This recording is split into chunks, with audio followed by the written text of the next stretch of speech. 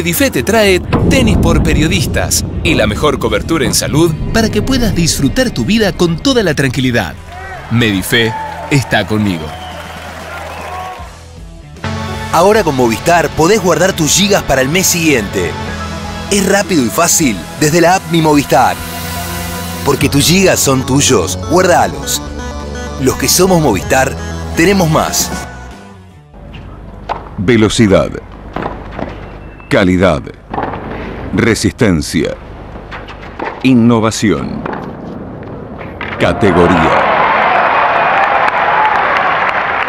Rosbaco, la marca de la madera.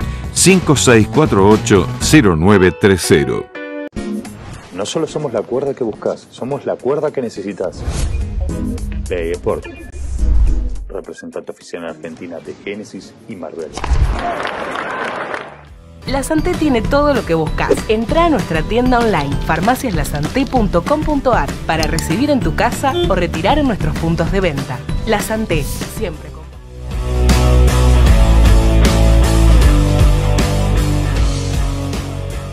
Hola, ¿cómo le va? Bienvenidos a Tenis por Periodistas. Primero les quiero contar una intimidad, algo que en realidad lo tenía acá. Porque hace mucho tiempo que le vengo diciendo aquí que Cano y a Dani Miche de hacer un programa para hablar de- del tenis femenino y no quiere. No querían, no querían, y no querían, y los tuve que convencer hasta que les dije, mira, si la invitamos a Florencia. Te ríen todo. Es una amiga de tantos años, a, a María Díaz Oliva, y te parece, y sí. Y bueno, y aquí estamos. Muchachos, este, yo no, no quiero que, que me lo nieguen al aire, pero veo contentos. Y me, no me parece que eh, nos debíamos un programa con las chicas. La verdad. Sí, además muy mejorados se las ven a Caporaletti y a Moro, ¿no? Mucho más bonitas. Obvio, obvio. Además, Moro ya no se acuerda de nada. Y Caporaletti vive en comercio jugando.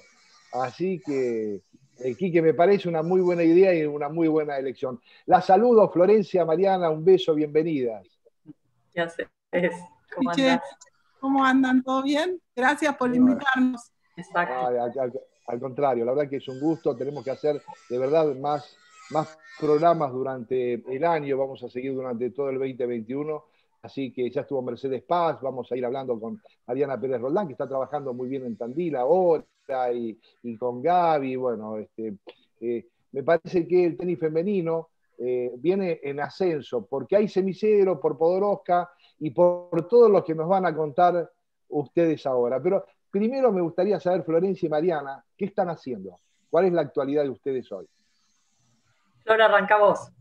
Arranco yo, bueno, eh, yo estoy actualmente hace ya dos años y pico en la Asociación Argentina de Tenis eh, como vocal del Consejo Directivo y puntualmente en la asociación, además de, bueno, de ir a las reuniones de consejo, me ocupo de eh, tenis femenino y los menores. Eh, eso, es lo que es lo que, que hago, digamos, en, dentro de la asociación. Todo lo que tiene que ver con, con los chicos, los torneos, eh, bueno, que es un área bastante grande, amplia, con bastantes problemáticas, pero bueno, es entretenido, es algo que, que me gusta, que, que está bueno, que aprendí, digamos, uno tiene la experiencia de haber jugado y, creo que eh, pasan los años y pasan las mismas cosas, o algunas son diferentes a, la época que nosotros éramos chicas, pero, mm, pero me estoy ocupando de eso. Y, tenis femenino porque fue por lo que decidí involucrarme y estar dentro de la asociación de tenis, ¿no? Para tratar de que el tenis de mujeres vuelva a estar otra vez en, en- en el nivel o tratar de que vuelva a estar en el nivel que, que estuvo en la época que estábamos nosotras, que éramos varias entre, entre las, las mejores del, del ranking. Mariana. Yo estoy, bueno, tengo una academia en el Club Banco Nación que tengo actualmente un poquito más de 20 jugadores. Antes tenía casi todas mujeres y, y muy poquitos varones, ahora ya están emparejándose mucho. Y a ver, eso es lo que más me gusta de lo que hago, eh, estar dentro de la cancha. también tengo escuela y grupo de adultos. Arranco a las 8 de la mañana y termino a las 9 de la noche casi todos los días, de lunes a viernes. Y después, bueno, estoy comentando para ESPN los Grand Slams y algunas veces algunos otros torneos. Eh, este año con, con, esta manera de hacerlo de manera virtual, siempre necesitábamos eh, los dos que comentaban y una persona que se quedaba conectada, que lo llamamos backup, y la persona que se queda conectada no sé, o sea, por ahí tira información o pasa cosas y es por si a alguien se le cae la conexión y entonces ahí entras a trabajar. Entonces eh, estuve bastante de backup porque, porque siempre faltaba alguien, entonces eh, en muchos torneos por ahí, eh, no sé, estaba transmitiendo Orsanic o transmitiendo Batata y, y para yo les contaba cosas o les tiraba data y estuvo bueno porque se hizo un ambiente muy bueno de trabajo, por lo menos para mí, porque si no estás ahí mirando un partido, no puedes decir nada y, para mí era mucho más divertido estar en la cancha de tenis que estar ahí. Pero lo bueno es que eh, fue muy cordial con todos y nada, sí hizo más llevadero. Y, después, bueno, también estuve haciendo unas columnas para ESPN que estuvo también bueno porque pensá yo, todos mis ingresos venían de una cancha de tenis. Yo estuve cinco meses sin trabajar, ah, tenía un montón de profes que trabajaban en mi academia y yo quería cumplirles, si bien no tengo una manera de, o sea, no tengo un trato laboral con ellos, me sentía en la responsabilidad, entonces yo lo que hice fue toda la plata que los jugadores que nosotros tuvimos siguieron entrenando por Zoom o así, yo todo lo distribuí para que mis profes, psicóloga y demás, pues somos 10 en total, todos ellos cobraban el 70% del sueldo, y a mí con lo que ESPN me pagaba por las columnas, bueno, tengo un alquiler de un departamento, yo viví con eso y por lo menos esos cinco meses se hicieron más llevaderos para todos y por lo menos yo hoy me saqué el peso de encima de, decir cómo voy a hacer para sobrevivir, cómo van a sobrevivir ellos. Eh, pues, para mí fue muy, muy duro los primeros meses, bueno, me, incluso tuve COVID también. O sea, fue una suma de un montón de cosas y cuando empezamos a trabajar, ahí sí, empezó a haber cada vez más trabajo, muchísimo, muchísimo, un montón de chicos que empezaron a jugar al tenis nuevos chiquitos de 4, 5 años, 6 años, que lo que yo digo que ahora el desafío más grande es mantener todos esos chicos, que sigan eligiendo el tenis. Por lo menos en mi caso lo siguen eligiendo, muchos no sé de vacaciones y termino el horario de la academia y atrás empiezo a tener grupitos de chiquititos, eh, que eso me parece que es lo, a lo que tenemos que apuntar hoy, si trabajas dentro de una cancha de tenis, es eso. Toda esta gente que se metió a jugar al tenis porque era eh, lo único que se podía hacer, hacer algo tan bueno, un trabajo tan bueno que el chico siga jugando. O sea que yo hoy estoy muy abocada a los más chiquititos y, a que esos mismos chicos se vayan insertando en precompetencia y después, más adelante o por ahí no, pero eh, que sigan eligiendo el tenis como, un deporte para toda la vida.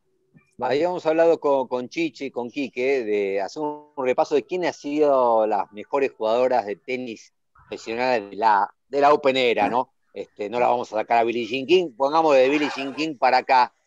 Pero a propósito de lo que vos decías, Mariana, y también Flora, antes de meternos en ese tema específico, el efecto Podoroska. O sea, Podoroska la conocía muy poca gente, esto que obviamente la, la mente de tenis la súper conocía, pero la gente en general ni sabía quién era Podoroska, además mucha gente creía que era ucraniana, rusa. Cuando nadie empieza a progresar en Roland Garros y mete semifinales, ustedes, Flor desde la asociación y vos Mariana de tu academia, ¿vieron papás como en la vieja época de efecto contagio y, llevar nenas a las escuelitas de tenis porque querían jugar a eso que estaba jugando Nadia Podoroska, como pasó una vez con Gaby o como pasó con ustedes? Mira, yo creo que, a ver, eh, fue un año muy especial. Creo que lo de Nadia sirvió y sirve para que, para que las chicas que, estén, que están jugando hoy al tenis eh, puedan tener un modelo a seguir, puedan, puedan darse cuenta de que eh, si se hacen las cosas bien, se puede llegar, no es imposible. Cuando vos no tenés a alguien metido ahí que, tiene buenos resultados, es más difícil poder transmitirles a las, a las chicas que están entrenando y las chicas que están compitiendo eh, el modelo a seguir, ¿no? Que, no es imposible llegar, eh, que sí es difícil, porque todos sabemos que siempre fue difícil, pero, pero que se puede. me parece que, que los resultados de Nadia este año sirven para eso. Después fue un año especial porque se pudo empezar a jugar al tenis recién hace unos meses. Entonces, como dice Mariana, creo que hay mucha, mucho movimiento y, que ojalá que lo de Nadia sirva para que, para que chicas que eligen el tenis como deporte se queden en el tenis y, empiecen a, competir y a jugar. Yo vi mucho en, las chicas de la academia o en las más chiquitas, eh, sí, ver un referente o ver a alguien en, en un espejo, ¿no? Que por ahí nosotros lo teníamos a Gaby Sabatini cuando yo era chica, todos los fines de semana que Gaby jugaba semi o final, la pasaban y estábamos todos en un televisor chiquitito ahí, toda la gente del club, todos mirando. Y a, mí me pasó de ver, mi hija tiene nueve años, juega al tenis, cumplió nueve ahora en la cuarentena, eh, de que se ponga la alarma y a las seis de la mañana se ponga a ver la podroga. De, hecho, como sabe que yo, que yo tenía el número, le mandamos un, un video pegando con otra niñita de su misma edad y las dos apretando el puño al final y decían, vamos Nadia, para que siga ganando. Son cosas tontas, pero a ellas eh, las motivaba. ¿Entendés? Y decir, ¿y vos qué te gustaba de Podroska? Y a mí me gusta la derecha, te decía uno. No, a mí me parece que el saque, pues no entienden nada, pero no sé, que se involucren o que, o que sueñen con algo así, es buenísimo, porque es, lo que nos pasó a nosotros, o por lo menos a mí de chiquita me pasó eso, verlo como algo imposible, eh, y después cuando las cosas se fueron dando de otra manera, terminó siendo algo o sea, podía llegar a jugar Grand Slam, por ejemplo. Pero me parece que para las chicas el soñar y, ver que hay alguien que, es de su mismo país y que vivió todas estas mismas cosas que viven ellas y que llega a, semifinal de un Grand Slam es algo increíble, es un sueño y está buenísimo. Hablando de sueños, hablando de sueños de cuando ustedes eran chicas y ustedes decían de ver y, y todo esto. Y, terminaron jugando, terminaron jugando Gran Slam y terminaron jugando también contra las grandes jugadoras que hoy son leyenda, ¿no? Y, de lo que por ahí em, empezamos a hablar. Ustedes decían, y lo que le gusta es la derecha. Ustedes, cuando veían, ¿no es cierto? De repente veían a Bertilova, a Ever, eh, vos, Mariana, sos un poco más chica, o sea, veías a otras jugadoras, Graf, ¿no es cierto? Celes Arancha, o sea, todo un camino así. Eh, ¿Qué veían en eso y qué soñaban? Y de repente un día entraron a la cancha y del otro lado de la red tenían a una de ellas.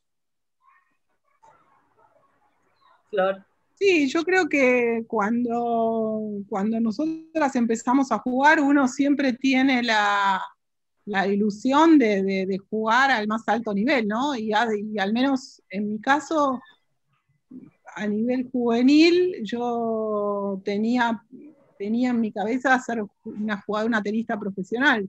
Eh, obviamente uno miraba a esas jugadoras por la televisión y después se fue dando, no sé, no, no, eh, fue, yo no lo vi como algo que era imposible. Yo siempre tenía la ilusión de que, de que podía jugar en el, en el más, más, alto nivel y bueno, y se dio.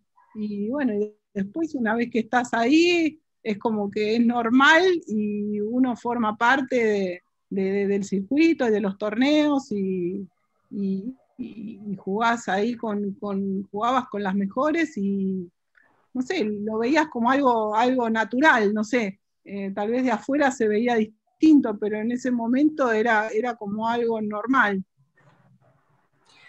Eh, yo de chica, bueno, la miré mucho a Gaby Sabatini, eh, después, bueno, a Graf, a Navratilova, y yo lo, veía como imposible, sinceramente, no pensé que, iba a ser jugadora de tenis profesional porque me parecía que no era lo suficientemente buena para, para lograrlo, y después, bueno, varias cosas se fueron dando de una manera eh, que también me sorprendí yo, y después, una vez que me fui acercando, siempre fui diciendo, bueno, si pude llegar hasta acá, me animo a ver si intento y llegar un poco más. Entonces, yo no sentía que tenía eh, por ejemplo, las condiciones que sí tenía Paola Suárez, que tiene mi misma edad y yo la enfrenté desde chiquita.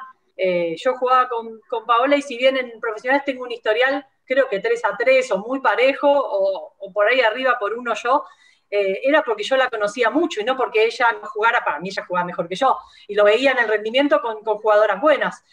Entonces, nunca me sentía a la altura de las buenas eh, y siempre me gustó mirar y admirar cosas de Graf, era la derecha, tenía una derecha que era impresionante cómo movía las piernas y cómo se corría toda la cancha para pegar de derecha en toda la cancha, que yo cuando era chica trataba de hacer eso mismo, ¿no? De correrme todo de derecha y jugar de derecha invertida. Después me di cuenta que solo ella podía hacerlo, porque jugaba en cancha dura y yo no tenía manera de llegar a invertirme toda la cancha.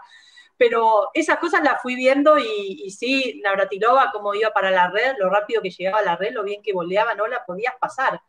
Y bueno, son todas cosas que, que sí las fui viendo y que me impresionaban de, de esa jugadora hasta buena Hingis. Yo pensé que iba a ser mucho más de lo que fue, porque arrancó y era una máquina. O sea, a los 16 años era número uno del mundo. Yo había jugado con ella en junior y ella tenía 13 eh, y ya me había impresionado lo bien que leía, ella como que sabía antes a dónde le ibas a jugar, que eso me impresionó mucho. Nunca había enfrentado a alguien que tuviera esa cualidad, que vos te dieras cuenta que decía no se movía, pero estaba siempre donde tenía que estar. Y ya a tan temprana edad, ¿no? Con 13 años.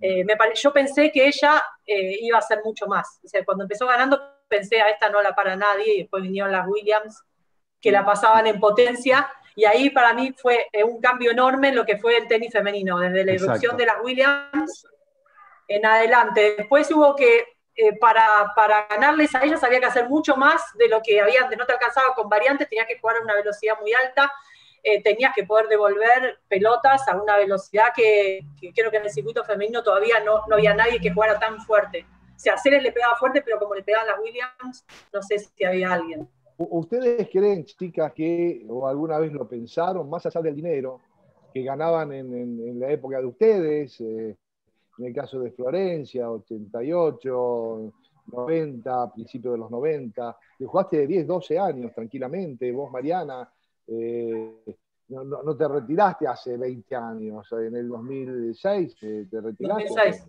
No Yo hace sí. tanto tampoco. ¿Ustedes piensan que con el juego eh, que tenían en esa época y tal vez mejorándolo hoy, podrían haber llegado mucho más lejos. Vos estuviste casi dentro de las 40, muy cerca de las 20 Florencia. Hoy es más accesible para las mujeres que aquel momento con, con monstruos, ¿no? con, con, jugadoras que eran más sólidas y que estaban más tiempo top 10 que ahora. Ahora eh, varía mucho el ranking. Creo que la diferencia hoy en día es que eh, hoy el nivel es mucho más parejo. Hoy hay 100, 150 jugadoras que juegan todas bien y todas ganan y pierden con cualquiera. Hay, hay dos o tres que están un escaloncito arriba del resto. Después son todas muy parejas y, y los resultados están a la vista. Cualquiera le gana a cualquiera. Hoy, hoy vas a un torneo de Gran Slam y no sabes quién va a ganar, no hay una claro. favorita. Hoy, hoy puede pasar cualquier cosa, de hecho los resultados lo muestran. En la época nuestra creo que estaba muy marcado el, la diferencia de niveles. Había tres jugadoras que eran, eh, estaban por arriba del resto, Gaby, Celes y Graf. Y Graf Pero estaba... tenías a Conchita, tenías a Sánchez, a Merilló, a Novonna, a Novonna. Tal, cual. Después había un segundo grupo que eran las 20, la, de la 4 a la 20, 25, en donde estaba Merilló Fernández, Mary Pierce, la, la Maleva. La Conchita, Maleva, Novotna, Tosiat, Capriati. Capriati, cuando apareció Capriati, bueno, ellas ahí y después el, y después el resto. Eh, de, había un, un, tercer pelotón, estaban como muy marcados los niveles. Claro. Y a veces era difícil que una, una jugadora que era 70, 80 le ganara a una 15. Hoy en día sí pasa. Hoy en día esos resultados se dan. En la época nuestra era muy poco probable que eso pasaba. Mariana. Yo creo que eh, el nivel mejoró muchísimo y se emparejó muchísimo.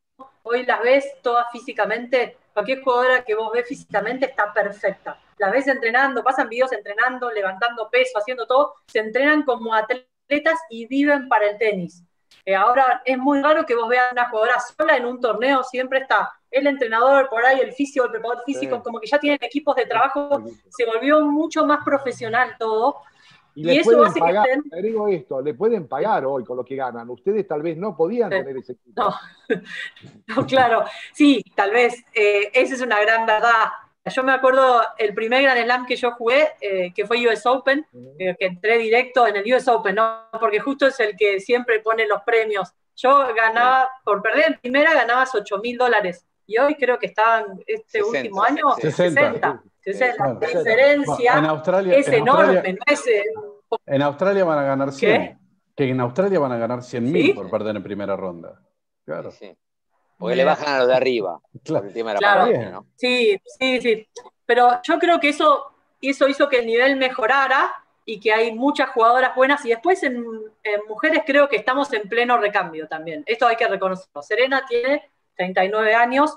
Para mí ya, eh, si vuelve a ganar una slam, es como vos ves el caso de Federer, que juega bien todo, pero tenés que ganar siete partidos en una slam para ganar. Difícil, es muy difícil. Y a Serena se le está complicando porque llega Claro, ese momento, juega contra jugadoras que tienen muchos años menos, que no tienen nada que perder, que juegan con una soltura terrible y se le complica. Entonces, hay muchas jugadoras que están jugando bien, que tienen entre 18 y te diría 24 años, y todas esas para mí se tienen que terminar de afianzar, algunas se lesionan, entonces salen un tiempo, Ashley Barty me gusta mucho, es una jugadora que aparte de poder jugar rápido, le gusta ir a la red, tiene variantes, a mí esa jugadora me parece que es la que vino a devolverle al circuito femenino el que no sea todo palo. O sea, un slide como el de Barty no veo hace un montón de años, que vos veas cómo lo tira, como prácticamente más largo, más corto, paralelo, cómo sube, es bajita comparativamente con las demás y saca muy bien. Tiene un montón de cosas que a mí, a mi manera de verlo, hacen que el tenis femenino pueda volver a ser atractivo y no sea solo palo, como por ahí fue los últimos años. Te diría, cuatro años atrás, tres años atrás, era palo, palo, palo, y no veías nadie que hiciera algo diferente. Y ahora vi mucho drop, en Roland Garros muchísimo drop, y Tech, yo la vi jugar acá en los Juegos Olímpicos de la Juventud, Juventud. la Sí. filmé. El día que la vi, no sabía ni quién era. Fui, la filmé la y después la seguí como iba. Y siempre desde el día uno que me tocó transmitirla, siempre me encantó cómo jugaba. No solamente puede pegar fuertísimo a la pelota, sino que tiene todo. Tiene, Tiene un slide buenísimo, variante. sabe tirar drops. Sí, Ahora, es una jugadora súper completa. Ahora, no quiero ser malo. Vamos, vamos, alguien siempre tiene que ser malo. A ver, Flor, Mariana. Voy por la avenida Santa Fe, la avenida Corrientes, elijan la avenida que más les guste de cualquier ciudad. Y voy con un listadito de jugadoras 80-90 y voy con un listadito de 2020. Y te digo, señora, señor, venga, venga. Navratilova, Evergraph, Cele, Sabatini, Capriati, bla, bla, bla. Y le digo, Schwantek, Halep, Barty, eh, Pliskova, Oshkova, Moskova, Troskova, Roskova, no las conoce nadie. Es así. ¿qué pasa y por qué? Yo creo que porque. No, no, no. Yo creo, yo creo por, por lo que te decía antes, creo que, que no hay hoy por hoy, sacando Serena, que es la única que queda de la generación anterior, eh, dos, tres jugadoras que dominan el circuito y que son las que, las que aparecen siempre. Entonces, es, eh, cuando es tan cambiante el circuito, por ahí es más difícil eh, publicitar a, a- a ma- a tanta cantidad de jugadoras, pero, pero sin lugar a dudas, hoy Está por bien, hoy Flor. hay muchas más jugadoras que juegan muy bien al tenis. Vos ves Sí, sí. tenis. No, eso no lo discuto, pero si voy para atrás también y hablamos de Safina, Ivanovic, Jankovic y otras que fueron fugaces, que estuvieron, ganaron un Gran Slam y desaparecen, o sea, que no tuvieron tampoco la continuidad, el profesionalismo, si se quiere. Mismo Sharapova, Sharapova debió haber ganado mucho más de lo que ganó y terminó siendo más una imagen de marketing que una tenista, este, que fue una gran tenista, no lo discuto, pero pudo haber sido mucho más de lo que fue. Veo en los hombres, aunque esta nueva generación de varones me da una duda de que no sé si no son parecidos a lo que son estas otras chicas de me hago millonario y me dedico a otra cosa, pero digo, en general veo como que es más irregular en cuanto a sostenerse. Hablamos de Serena Williams todavía, o sea, como evaluarte y estandarte de tenis femenino. A ver, no quiero comparar con los varones porque no me gusta hacer comparaciones del tenis femenino con el de varones, pero en varones hablas de Federer, de Nadal y de Djokovic, y hace Sí. 25 años que hablas de los mismos. Sí. Si sacás a Federer, a Nadal y a Djokovic, el circuito, ahí sí, ahora apareció Zverev, Rublev, estos rusos, que también, ¿quién los conoce? La lista, si está. armás la lista Santa Rublev, Fe tampoco lo conoce nadie. tampoco, no, es así. Punto para Florencia. Es 15 así. Hoy hablar de- Ahora, seguís hablando hace 25 años de Roger, de Rafa y, de, y de Nole. Es así. Demasiado grandes Ahora- son. ahora, Esos eh, tres fueron además grandes. no queremos que se vayan. No queremos Claro. que se vaya. Es verdad. Juega hasta los 55 años, ¿me entendés? Sí. ahora, ahora Es si, toca, así. si, si toca armar si toca armar o elegir a, a la que fuera, no sé, la mejor o las tres mejores jugadoras eh, de, esta, de la era Open, pongamos del, 70, del 73 para acá, ¿no es cierto? ¿Qué se, ¿Qué se ve? Porque, por ejemplo, Mariana bien decía, y yo concuerdo con ella, porque me acuerdo cuando apareció Venus Williams descosiendo la pelota, porque la descosía, la impactaba tan fuerte a la pelota, que es un cambio en el tenis femenino en cuanto a, la explosión del, de ese juego, del juego de tenis femenino. Eh, hay un antes y un después de ellas en, en ese tipo de juego. Eh, pero, ¿qué, qué se, cuando, por ejemplo, ustedes tienen que ver y decir, uy, yo me quedo con estas dos o tres jugadoras que son las mejores para mí de la era Open. Me fijo en la cantidad de títulos que ganaron, en la cantidad de Grand Slams, en haber marcado un antes y un después, en, en por ejemplo, en ese récord que tiene de, de, promedio, por ejemplo, del mejor promedio de partidos ganados sobre partidos perdidos en su historial. ¿Cómo se arman ustedes y quiénes serían para ustedes las mejores jugadoras si hoy tuvieran que verlo o viéndolas ya ustedes, ¿no? Habiendo jugado contra ellas, habiendo sido parte del circuito. Es difícil nombrar a tres porque hubo muchas muy buenas, ¿no? Pero en mi caso creo que eh, Navratilova marcó un antes y un después en su forma de jugar, claramente. Eh, creo que uno mira también, obviamente, mirás la cantidad de títulos que ganaron y la cantidad de años que se, se mantuvieron en, en, el más alto nivel del tenis. O sea, es imposible no ver eso. Eh, creo que una es Navratilova, sin lugar a dudas, otra es Graf, sin lugar a dudas, y, y después Serena, Serena. Eh, con todos los récords que batió, eh, a pesar de que a mí personalmente Serena no me gusta cómo juega, pero a ver, es innegable que, que es una de las mejores de la historia, sin lugar a dudas, ¿no? ¿No? Por, por... Antes, antes de, de, Mariana, y te pido permiso, eh, quiero que agregues eh, a una de las más grandes de la historia, por lo menos para mí, que me tocó verla durante mucho tiempo, que es Chris Ever, que fue una, una gran jugadora. Perdón, Chiche, pero, y, la que, y la que inventó esto, no sé si se ve. Sí, bueno, Billy por, por eso te Billy, Billy aunque jugó en la década del 70, la tenemos que tomar eh, mucho antes. Pero les quiero leer algo, y, y no quiero, eh, a ver, no presionarlas, pero eh, hacerle cambiar eh, la idea de quién fue la mejor. Graf, por ejemplo, yo me anoté algunas cositas que ganó nada más.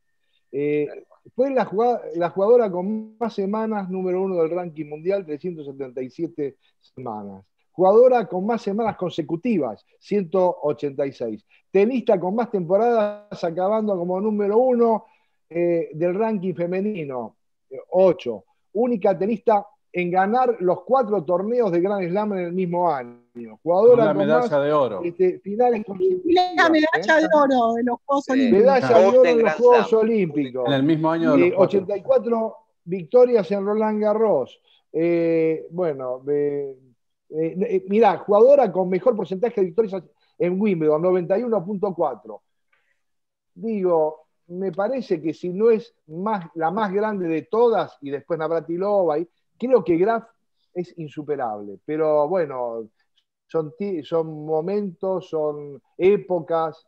Eh, Martina fue extraordinaria. Yo creo que es difícil nombrar, pero Graf, eh, yo jugué contra ella varias veces. Si, si de, yo jugué con casi todas. No jugué con Abratilova y no jugué con Chris Evert. Pero de todas las otras de mi generación, la única que era injugable era Graf.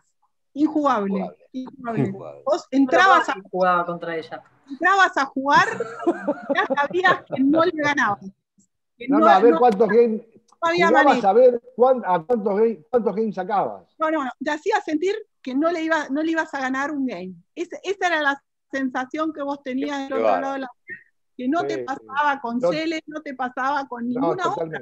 No te, te pasaba. dejaban jugar las otras. Podías, perdías, pero podías jugar. Podías jugar. Yo jugué con Celes también y podías jugar. Vos, te hacía, vos sentías que jugabas el partido, después ganabas, perdías, perdías. O sea, yo terminé perdiendo siempre. King, jugué con todas. La única que vos te parabas del otro lado y sentías que no le ganabas un game era Graf. Era in, imposible. Y bueno, Y ahí, ahí muestra lo que jugaba Gaby, ¿no? Porque era la Claro, única claro. que le pudo ganar, que la tenía Claro. ahí, que, le- que creo que Graf, entre comillas, la respetaba, sabía que tenía que jugar bien para ganarle. Y creo Sí, que Arancha, a- Arancha le sacó un poquito también la ficha después a, a Steffi, Sí. ¿no? Arancha le, pero menos, creo que mucho Sí, menos. sí, bueno, pero era mucho menos que Gaby. Arancha, sin embargo, no más que Gaby, ¿eh? Tal cual, tal cual. Pero, pero creo que ahí, se, eh, midiéndola con Graf, se veía la dimensión de lo que Gaby jugaba. Mariana. Y yo iba a nombrar primero a Graf porque como estuve haciendo mucha investigación para hacer columnas y notas, para mí, si bien tiene un gran slam más serena, todo lo que hizo Steffi, o sea, hubo años, el- cuando pierde la final de, de US Open con Gaby Sabatini, ese año, Sí. en todo el año perdió tres partidos. Venía de un año y medio que había perdido cinco partidos en un año y medio, una cosa abismal. Ganaba todos los torneos que jugaba, todo, absolutamente todo. Me parece que lo que ella hizo no lo pudo hacer nadie. Serena lo hizo muchos más años, esto de ganar más Grand Slam, se lesionaba, volvía. Y también hay que reconocer que Serena ten- tiene la fuerza, una fuerza de como un hombre en un montón de bolas, te, te, te para al lado y, y te impresiona. Es- es- tiene un físico de hombre y Steffi no, vos la ves y podrá ser un poquito alta, todo, pero eh, sigue siendo, sigue teniendo más un físico femenino. Por eso valoro mucho más lo que hizo Steffi en su momento. eh, y también enfrentando jugadoras, como vos dijiste, Ever también vi el récord que tiene otra vez en polvo de ladrillo, Claro. 94,7, impresionante. Pensar que de 94,7 perder un partido cada 20 en polvo de ladrillo es una cosa impresionante. Entonces me parece que ella en primer lugar, después la pongo en segundo lugar Serena por el hecho de que realmente marcó una época, primera jugadora negra que realmente, por su raza, obviamente, no por otra cosa, pero que ella hizo- se metió como una lucha racial y se metió en un montón más de cosas que no era solo el tenis. Para ella, como que el tenis es un deporte de blancos y ella es como que le, le dio la puerta de entrada a las jugadoras de su raza. Tiene un montón de otras cosas que también marcan como algo impresionante lo que hizo. Y bueno, y Navratilova, que por ahí para mí era mi favorita por, por el repertorio que tenía, por cómo jugaba, cómo jugaba en pacto. Eh, pero sí, si hay que reconocer lo que hicieron y todo, me parece que, que Graf, que a- yo la pondría primera. Sí, a mí me gustó mucho lo que dijiste de Serena, que metió el tema de, de- de la raza negra en el tenis y defender los derechos, y de Martina con la igualdad, ¿no? Con Sí. hablar de su homosexualidad libremente, cosa que todavía los hombres no se animan a hacer en el circuito de tenis. Exacto. Vieron que no, no hay homosexuales en el circuito de tenis, increíblemente, ninguno, por lo menos abiertos. Es para, para hacer Pero Martina en eso pudo, ¿no? Darito, ¿querés hacer una pregunta? Yo tengo una pregunta, no sé si final, pero de, de malo también, porque no solamente Dani es malo. No, no, no, yo lo que quería agregar que estamos hablando y cuando están, que, que lo difícil que es hablar de estas jugadoras y, y ver cuál es la mejor o cuál es la segunda o cuál es la tercera. Son tres, las tres son indiscutibles y creo que son las tres que ocupan el, el máximo lugar. Yo coincido, para mí Steffi Graf ha sido eh, la número uno y por detrás por ahí viene Martina o Serena, Serena, Martina, no sé, son dos jugadoras que cambiaron el juego.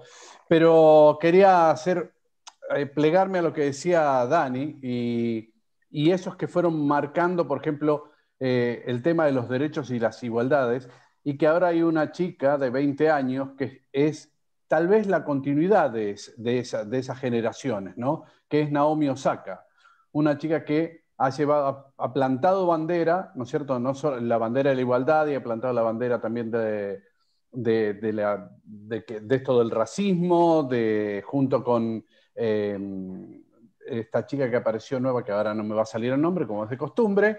eh, Obrigado. exactamente. Obrigado. Y- Coco Gauff, Gauff. Coco Gauff, Coco Gauff, exactamente. Y, y bueno, creo que estos son, Sí, son digamos, los grupos que van mar- Exactamente. Creo, creo, creo, chicos, que da para otro programa, para seguir hablando de las grandes, pero eh, le- les quiero hacer, por lo menos de mi parte, la última pregunta a las dos. No se rían, no, no me digan, no, mirá.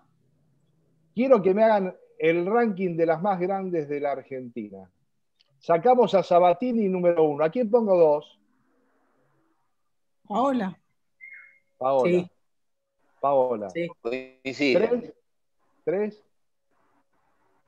Y si, si vas por ranking, te- para mí No, tendrías no, que poner la no Inés. ustedes, así la más grande. la- Lo que pasa es que para mí lo que es difícil ahí, yo la vi jugar a Inés y me encantó. La vi cuando recién empecé, estaba saliendo de Junior, me encantó. Después se lesionó tanto. Si yo hubiese visto a esa jugadora un montón de años, para mí tal vez estaba dentro de las 10 mejores porque ah, como jugaba, o sea, era un placer. Sí, sí, sí, tal cual. Eh, pero yo iría un poco por ranking, me, imagino. Y la tenemos que poner a, a la Pitu, tenemos que poner a, Ah, bueno, pero profesionales. La tenemos que poner a Madruga. La gente se olvida de Madruga. Fue 14 del mundo, Ivana. ¿no?